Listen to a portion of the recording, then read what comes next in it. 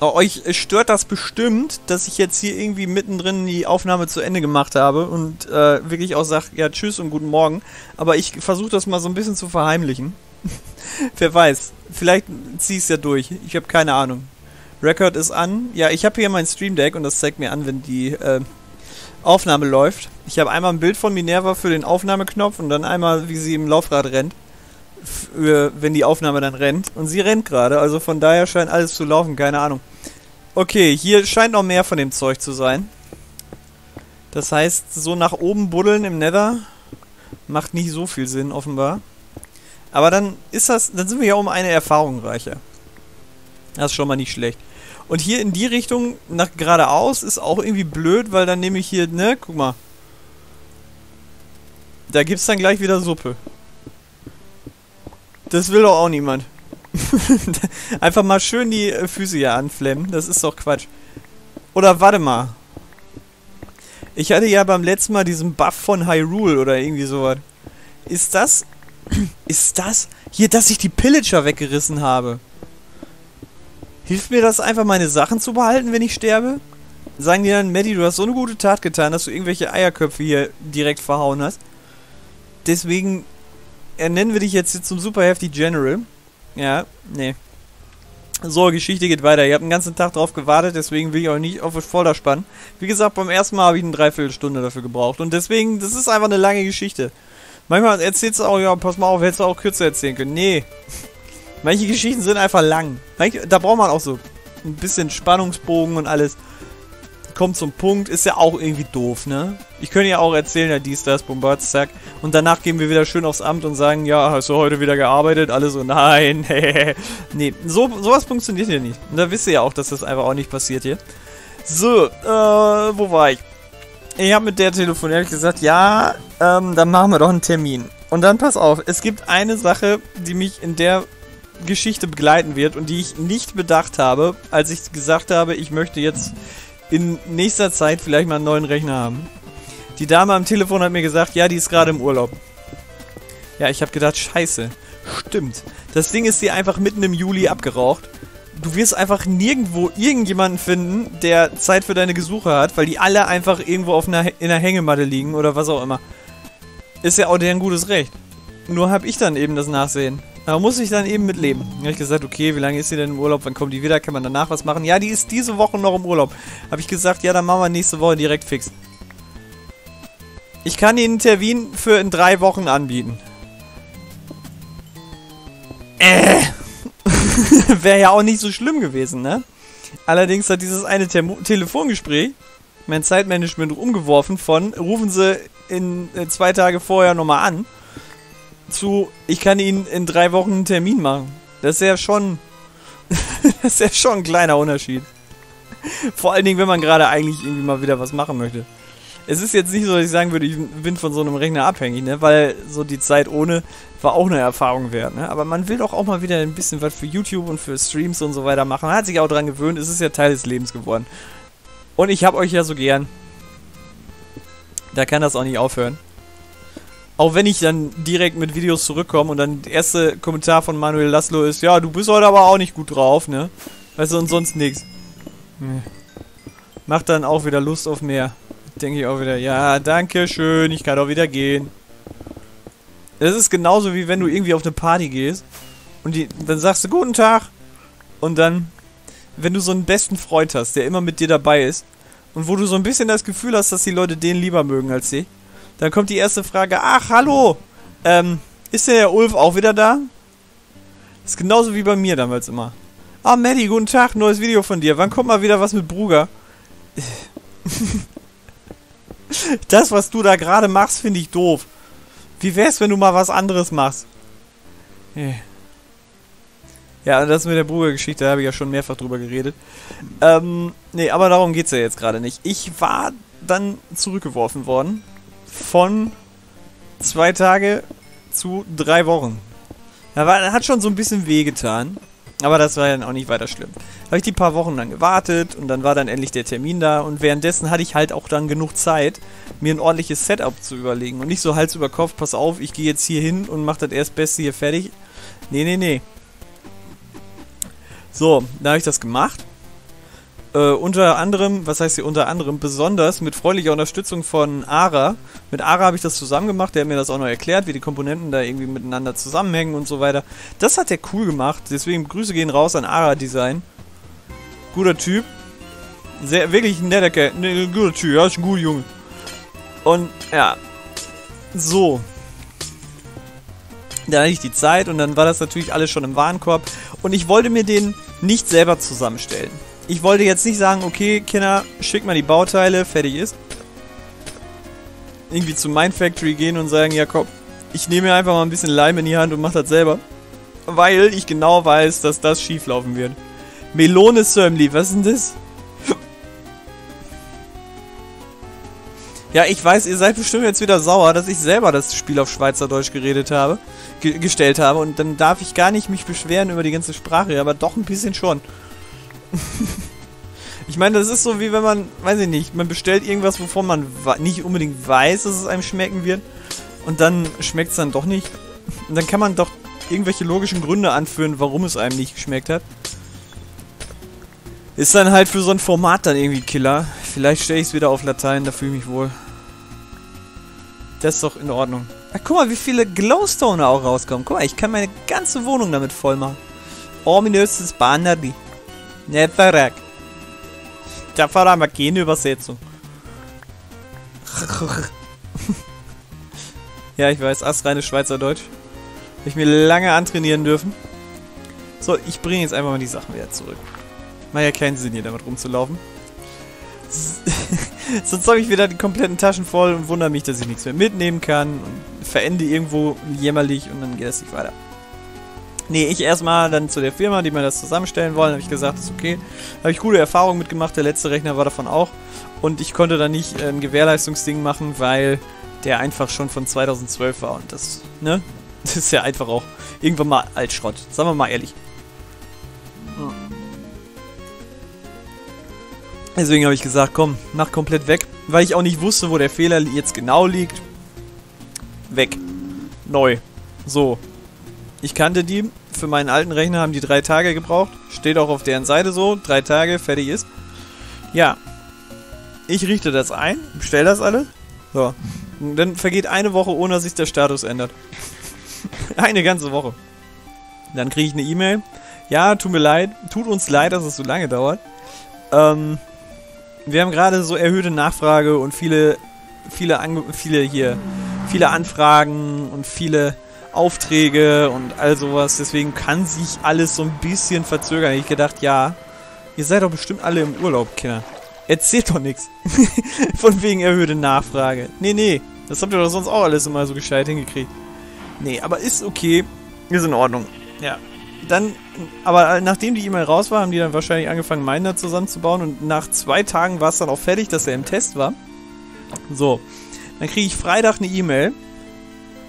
Da stand drin, ja, guten Tag, Herr Baron, es ist alles fertig, nice, funktioniert auch alles. Ähm, wenn Sie diese E-Mail vor 14 Uhr kriegen, ähm, ist Ihr, ja, Ihr Produkt, Ihr Kauf mit sehr hoher Wahrscheinlichkeit schon unserem äh, Logistikpartner DHL zugestellt worden. Habe ich gedacht, cool, wie viel Uhr haben wir es denn? Ich gucke auf die Uhr, 16.01 Uhr. Auf dem Freitag war das. Samstag arbeiten die nicht. Ach, ja. Ich meine, die sollen ja auch nicht Samstag arbeiten, aber das Timing war schon ein bisschen doof und ich habe wirklich gedacht, na, na okay. Ja, kannst es jetzt nicht ändern. Ist, ist in Ordnung. So. Dann, bis eine Woche drauf gewartet. Ich, das war ja auch immer so, ich habe gesagt, ich weiß nicht, ob diese Woche der Rechner schon da ist. Keine Ahnung. Die sagen, in drei Tagen ist er fertig. Und war er halt auch nicht, ne? Ist aber auch okay, wenn die sich Zeit lassen. Es ist ja immer ein Qualitätsprodukt, was sehr lange halten soll. Da sage ich ja auch nichts. Aber der richtige Clou bei der Geschichte kommt nämlich jetzt erst. Dann war das nämlich bei der DRL. So. Und nennen wir mal einen, der sagt, boah, Transport von irgendwelchen Waren von A nach B läuft immer gut. Immer. Das ist Quatsch. Das sagt niemand. Ich kenne niemanden, der das sagt. Wenn doch, ja, Lüge. So. lehne, ich, lehne ich mich jetzt mal ein bisschen weiter aus dem Fenster, ne? Aber manchmal muss man auch mal erzählen. So, was ist das? Ist das hier ein Ominö? Kann ich das irgendwo hinhängen oder was? Kann ich das da hinhängen und sagen, pass auf, ich habe zwei Jungs von euch schon geschlachtet und du bist auch gleich dran? Jetzt guckt da so ein böser Ritter aus hier, wie heißt das Spiel noch? Nicht Battleblock Theater, sondern hier, ihr wisst schon. Shovel Knight, ihr wisst schon. Ihr wisst doch, wie das heißt, Mann. Mini Knights. Das mit den, dieses Sidescroller, wo du dich dann prügeln musst. Sehr akkurate Beschreibung für einfach jedes Spiel, was im Steam Store ist.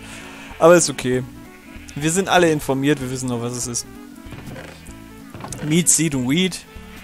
Ist eigentlich äh, gefletschtes hier auch? Nee, ne? Ist das hier? Wo mache ich das Leder hin? Keine Ahnung. Ich lasse es jetzt einfach hier. Stört ja niemand. So, und jetzt den ganzen anderen Quatsch hier. So, das brauche ich definitiv auch nicht mehr. Hier die Kabbelquatsch hier. Schigi Erde, andere Steine. Kabbel, Kabbel ist das auch Treppe? Weiß es nicht. So. ja, dann ist das jetzt da drin. Okay, jetzt war jetzt bei der DHL. Ja, Montag ist es da zur DHL. Ich krieg eine E-Mail am Montagabend. So gegen 19 Uhr habe ich die gekriegt. Dass es jetzt bei der DHL ist. Da habe ich gedacht, cool. Geil. Dann äh, stand auch drin, erfahrungsgemäß ist es dann in zwei Tagen da. Ich gedacht, ist einfach auch so erfahrungsgemäß ist so ein Wort, was ich innerhalb dieser Transaktionsprozesse, die ich da hatte, schon sehr häufig gehört habe und was einfach auch niemals in irgendeiner Art und Weise mit Wahrheit zu tun hatte. Deswegen sind wir aber mal ein bisschen geschmeidig. Ist ja in Ordnung. Hallo Scherzen. Und dann habe ich gedacht, ja gut. Wartest du dann mal eben. Dann kriegt eine E-Mail, äh, ja. Voraussichtliche Zustellung wäre am Donnerstag. Ist ja auch okay, ne? Voraussichtlich zwei Tage plus eins ist immer noch in Ordnung. Kann man immer noch machen. Yes. Die Geschichte geht halt noch weiter, ne? Ja, das habt ihr euch wahrscheinlich schon gedacht. Aber wie gesagt, es ist einfach... Hm. das Problem bei der Sache ist einfach, dass dann immer diese ersten Erwartungen geweckt wurden und dann hinterher diese Erwartungen nicht eingehalten wurden. Aber nach dem Krieg werden ja die Toten gezählt und am Ende war alles nicht so schlimm. Wir haben es ja gemerkt. Das Produkt ist da, alles nicht so richtig hundertprozentig gelaufen, aber im Endeffekt kommt. Es gibt doch auch bei weitem Schlimmeres. So, ich habe mir jetzt schon tausendmal daraus geredet, dass ich nicht wieder als Meckermetti hier dargestellt werde, was ich in letzter Zeit sehr oft werde. Das ist auch Quatsch, weil, ne? Guck mal, ich bin einfach entspannt. Das ist gut. Hatte Sport gehabt. Easy. So. Kann ich hier einfach mal so eine, so eine Kieslawine starten, dass einfach so der komplette Berg hier runterfällt. Das hätte ich jetzt gern. So, da muss ich aber aufpassen. Ich kenne das. Sich so ein bisschen um die Ecke zu schleichen hier in Minecraft endet gerne mal mit dem Tod. Und vor allen Dingen, wenn man dabei in eine Lava fallen kann, dann ist das super belastend. Guck mal, wenn ich jetzt hier rangehe, ne, dann bricht doch alles runter hier. Ja. Siehst du? Und deswegen sage ich, aufpassen. So, was ist das da? Das ist doch Soul Sand, oder nicht? Das will ich haben, Digga. Das nehme ich mal mit. Ich weiß nicht, was Soul Sand ist, ne? Das klingt so ein bisschen wie so ein Album von den Blues Brothers, aber ich nehme es trotzdem mal mit. ich habe keine Schaufel mit. Die habe ich gerade eben weggestellt. Habe ich denn irgendwas, um eine Schaufel zu bauen? Nein. Kann ich das einfach so mitnehmen? Das Ding ist, da... Nee, das ist nicht der Soul Sand, wo du so langsam drauf... Ich würde doch niemals so einen Sand bei mir in die Bude schütten. Der, der klaut auch irgendwelche Sachen, die ich im Nachleben auch noch brauche. Das ist doch Quatsch. Gruselig ist das. So, weißt du was? Ich habe einen neuen Rechner. Arschlecken jetzt. Wo ist denn hier die Sichtweite? Komm, bring mal auf Vollmass hier. 48 Chunks hier. Big Chunks, Alter. Hier, ihr seht das Setup hier. Da. GeForce RTX 2060. Dann werdet ihr alle sagen, nö, wieso hast du nicht? Siehst du, Minecraft ruckelt. Schon gut. Aber ich nehme auch gleichzeitig auf. Und ja, das hat sich jetzt nicht wirklich geändert mit der Sichtweite hier, ne? Es ist einfach nur langsamer geworden. Dann machen wir dann mal wieder auf irgendwie 20 Chunks zurück. Big Chungus hat hier keine Stelle. Da, guck mal, es ist doch einfach unwesentlich weniger jetzt. das, aber ist auch nicht so schlimm. Dann gehen wir einfach in die andere Richtung. So, ich kriege eine E-Mail. Stand drin. Äh, ihre Sendung liegt jetzt im GVZ in Bremen. So. Und da habe ich nämlich mal gegoogelt. Weil ich wollte, ich, nenn mich einfach blöd, ne? Ist, ist in Ordnung. Aber ich wollte einfach wissen, was da abgeht. Und ich habe dann erstmal auf äh, Userberichte GVZ Bremen geguckt. Und was soll ich sagen? Es war schlimmer, als wenn du deine Symptome irgendwie bei Google eingibst, wenn du irgendwie einen Schmerzen im Fuß hast oder so. Dann steht ja auch immer, oh, Was ihr kleiner C juckt, gehen Sie mal in den Baumarkt, holen Sie mal eine Säge. So, genau so war das da jedes Mal, ne? Und so war das dann im äh, Güterverteilungszentrum in Bremen auch. Sehr lange. Und dann Weserkurier. Werden die Weihnachtsgeschenke jemals ankommen? Man weiß es nicht. ich sitze da natürlich denken, ja. du erreichst da auch niemanden. Und da stand da drin, ja, wenn Ihnen das zu lange dauert, nach zehn Tagen können Sie beim, äh, bei demjenigen, der das losgeschickt hat, der kann dann eine Suchanfrage stellen. Nach zehn, na, oder nach einer Woche, zehn Tagen, irgendwie sowas. Also, die genaue Zahl interessiert jetzt gerade niemanden. Also, ja, dann war das so. Und ich guck dann, ja, vielleicht ist das ja, ne? Es beschweren sich ja auch, es stehen ja auch immer nur die Meinungen von Leuten drin, die sich beschweren. Und bei denen, wo alles lief, steht halt nichts. Ist irgendjemand mal hingegangen hat gesagt, boah, das Güterverteilungszentrum, ne, das war aber gut. Nee. Solche Orte erhalten doch per se niemals eine positive Bewertung irgendwo. D das passiert doch eigentlich nicht. Das ist ein undankbares Ding, ich weiß. Aber das ist, es wird doch einfach niemals so geschehen, dass da eine positive Bewertung hinterlassen wird.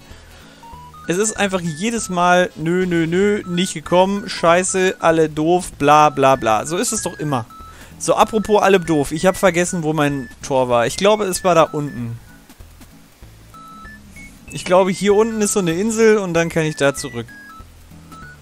So, ist das meine Insel hier? Ne, da hinten ist meine Insel. Guck mal. Das ist sie. Ich wollte eigentlich eine Festung finden. Eigentlich. Aber ich habe das eigentlich schon aufgegeben. Eigentlich habe ich es schon aufgegeben. So, ich erzähle die Geschichte jetzt so zu Ende. Und wenn die Folge länger dauert, ist mir egal. Äh. Hallo? Achso, ich habe versehentlich... Ja, ja. Okay. Ich warte. Donnerstag sollte es ankommen. Es wird Dienstag. Ja. Ist da was passiert? Nö. so. Es wird Mittwoch. Ist was passiert? Nö. Es liegt da einfach immer noch rum. Ein Warenwert von knapp 2000 Euro. Ja, ist okay. L lass halt einfach mal irgendwo liegen. ich weiß, was soll auch passieren? Ja, es wird Donnerstag. Nix. Abends dann, am Donnerstag, wurde erst einfach der ähm, antizipierte Termin einfach gelöscht. Stand da einfach nicht mehr Donnerstag. Stand da einfach gar nichts. Und, ähm, kein Scheiß jetzt. Kurz darauf war einfach die Sendungsnummer auch nicht mehr bei DHL auffindbar. War einfach nicht mehr da.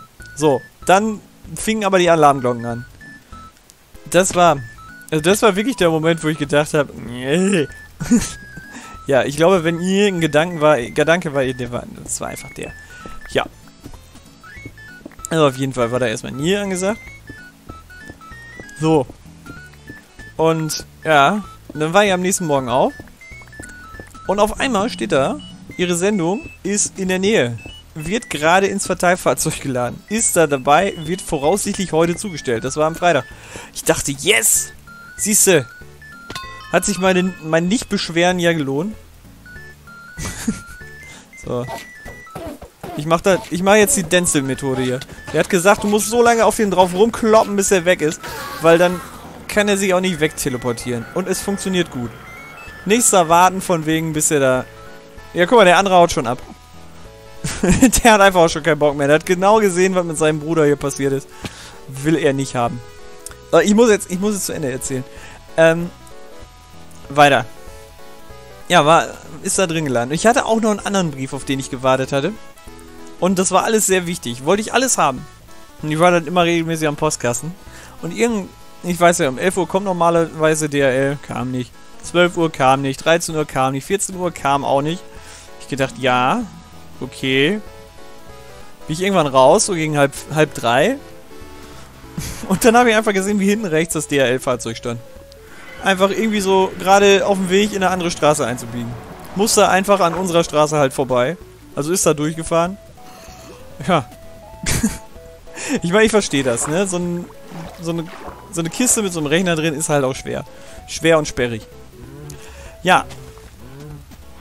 Und dann habe ich gedacht, ja, läufst du hinterher? Nee, nee, nee, du kriegst den niemals. Da hinten ist eine Landstraße, da brettert der einfach durch und er ist weg. So.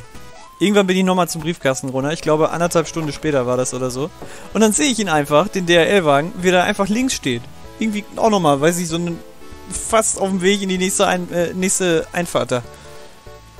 So, ich aber gesagt, so, jetzt bin ich hinterher. Ich gesagt, guten Tag, hier. Ich habe hier eine Sendungsverfolgungsnummer. Hier steht, dass der in diesem Wagen ist. Oh, ja, haben wir wohl ver... Äh, ja, haben wir, ist uns nicht aufgefallen. Mhm. Genau. Hattet ihr einfach gar keinen Bock zu schleppen. So, Ende vom Lied natürlich jetzt. Die wollten das nicht schleppen. Und was die jetzt machen mussten, die beiden, einfach nicht irgendwie vor der Haustür parken und dann einfach nur in, ja, quasi vor die Tür stellen, sondern einfach mal so zwei, drei Straßen weiter tragen, das Ding. Weil du kannst doch nicht einfach dann auch noch mit dem Auto da zurückfahren. Was ist das denn für ein Armutszeugnis?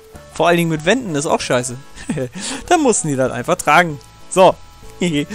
Und ich glaube, die haben über mich geflucht. Mag sein. Aber ich glaube, wenn die so ein bisschen in sich hineinforschen, wissen die, das mussten wir nur machen, weil wir einfach keinen Bock hatten, das zu tragen und weil wir einfach mal wieder ein Arschloch sein wollten. Und dann kam direkt die Klatsche. Und die Klatsche hatte den Namen Bettbaron. Und wenn euch das Video gefallen hat, dann klatscht mal auf den Like-Button. Und wir gucken mal morgen weiter. Guck mal, 21 Minuten. Hoffentlich seht ihr dieses Video auch, weil ich traue dem Braten noch nicht. Ähm, ja, hat aber auch Spaß gemacht. Und beim nächsten Mal bauen wir wieder oder sowas. Oder suchen nochmal ein Fortress. Gibt es irgendwie eine Möglichkeit, das zu finden? Kann man da sagen, pass auf, mit Strategie A funktioniert das immer? Wäre natürlich nice, aber Vielleicht klappt das ja doch nicht. Naja. Viel zu tun, viele Ideen. Wir müssen ja auch noch den Marktplatz bauen. Wir haben so viele Sachen zu machen. Guck mal, dieses Haus hier. Wie lange wir dafür geschuftet haben. Und jetzt steht es da einfach. Und niemand sieht's. Doch ihr. Genießt es. Grüße gehen raus an El Maxo, der gesagt hat, das sieht schön aus. Ha!